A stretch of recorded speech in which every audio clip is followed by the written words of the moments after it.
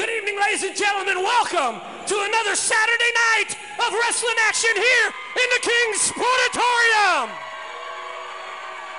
Oh, we've got some special action for you here tonight, and we're going to start it off right tonight.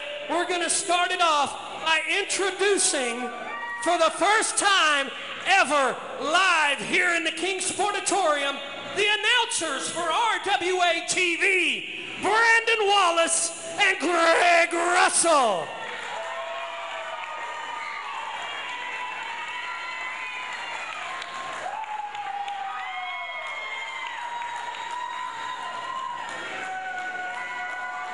Now, many of you know what's been going on with these guys. You know that there's been an ongoing feud between Mr. Russell and a gentleman named Bud Schroeppel who has on the front row with Budro 970 AM talk radio, sports radio. And I told Bud this week, leave me out of it. I'm done with it. I'm done with it. I'm out of this. I'm not doing it no more. So I'm going to hand it over to these guys. Ladies and gentlemen, we thank you for coming out for Saturday Night Wrestling here at Royal Wrestling Alliance. And we also thank you for tuning in every Tuesday night on RWA TV on Suddenlink Channel 22. Just out of curiosity, we're wondering how many of you guys are fans of the RWA TV show? All right. Hey, let me tell you something, Wallace. I can remember back whenever I was just a, a little bitty boy, my grandfather, the legendary Memphis wrestling announcer Lance Russell,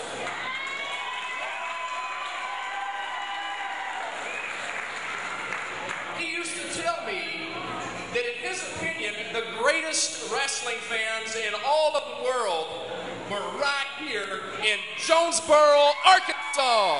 Right you are, Greg. Right you are. And you know, as I look around the crowd tonight, I gotta say that he may have been right about the best fans, and they may be the best fans in the world, but they certainly are not the best looking fans. Whoa, whoa, whoa, Greg, Greg, whoa, whoa, whoa, whoa.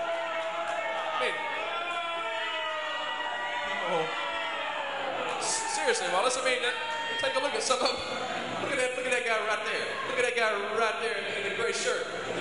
That's, you get a camera on that guy. I mean, that's, that's a face. That's a face only a mother could love. If that mother just happened to be an orangutan. Hey, Greg, whoa, stop, stop, stop, stop, stop.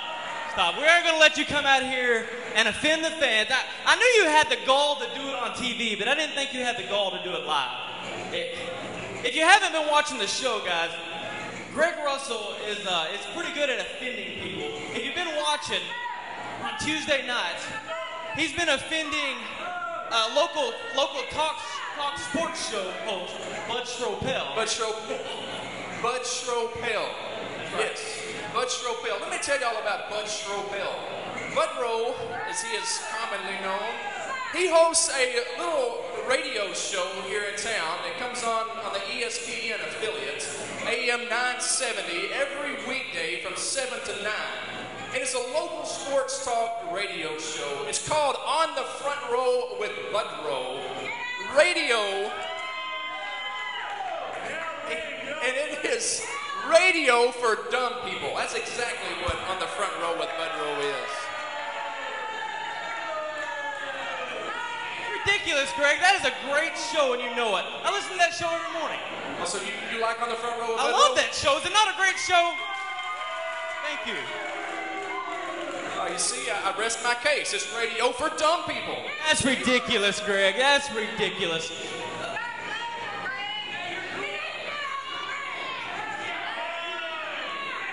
If, if you haven't been watching, here's what Greg said. A couple weeks ago, right, a couple weeks ago, Greg Russell recorded a fake commercial for Bud Schroeppel. And, and he called it radio for dumb people. He put pictures of, of Bud's collars that were very unbecoming, to say the least. And then just last week at Summer Celebration, our special one hour show, Greg recorded his apology right back there before the show started.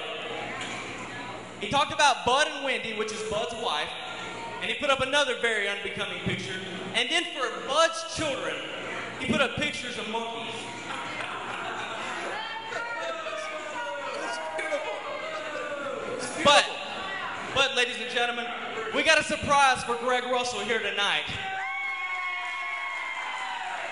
Because you see, just two days ago, Greg called in to the talk show and told Budro that, that if he was man enough, he would come out to the King Sportatorium tonight. Well, guess what, Greg Russell? He is here tonight. Hit his music. Budro's here? He is here.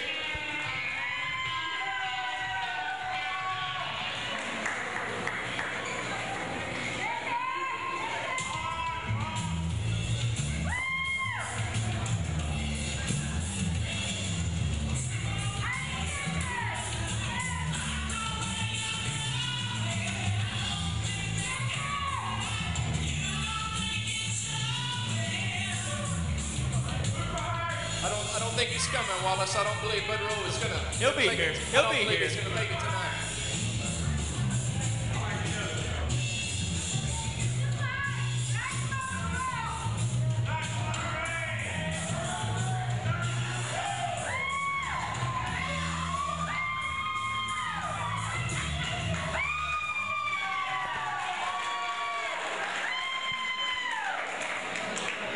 Let me say first of all, what a distinct honor it is to have a, a man of your standing in the community in RWA tonight. And on behalf of all Shut up. Shut your mouth. Don't even look at it. For the last month, you've come on my show, you've used my airways to promote yourself. I haven't said one thing about you being Lance Russell's grandson, which is bull. I haven't said a word about what you said about me the last month. But when you said something about my wife, there's a line. You stepped right up to it.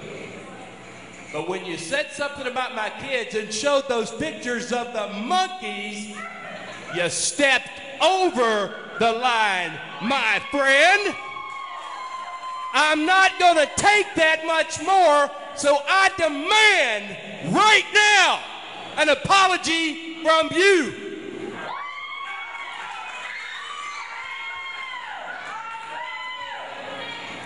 Mr. I only have two words for you, sir.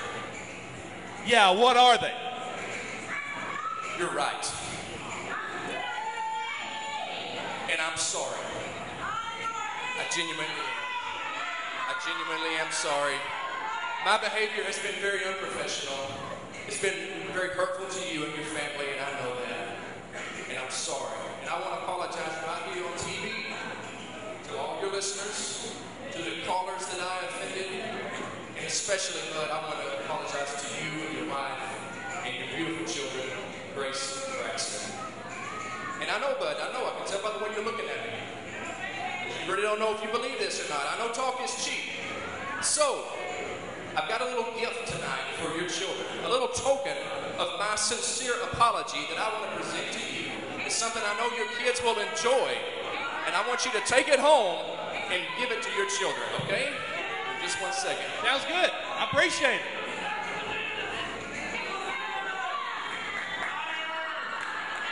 There you go, bud. Give that to your kids.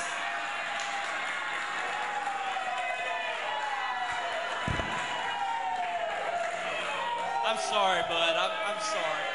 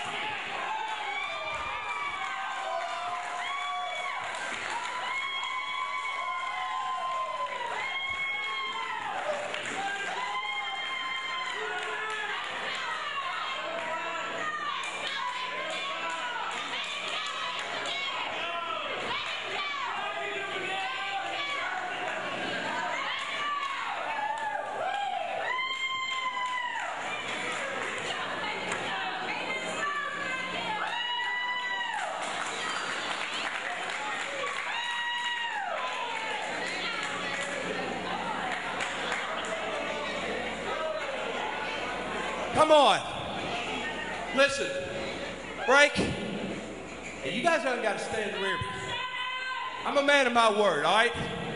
Back off. Look, Frank, you told me you gonna stay out of it. I didn't trust you. I thought you may be in on all this. But I believe you. You are a man of your word. You weren't in on this. But I'm asking you, I'm begging you, I'm pleading with you. Give me a match with this guy. Right now. I want him. I gotta have him. He's insulted my kids. Stop. Stop. Now, first of all, I'm going to tell you something. You crossed the line when you put your hands on one of my employees. I would do this for any of them. But I am not going to let you. You think that we were using you for to promote our company? Yeah. You've been using us to promote your two-bit little radio show. You're nothing but a two-bit AM jock that doesn't even deserve to be around people like this. Get this clown out of my building. Oh, oh, oh, oh Get him out of my building. Hey, hey, hey, hey, back off a minute, guys. Hold on. Get him out of my building now.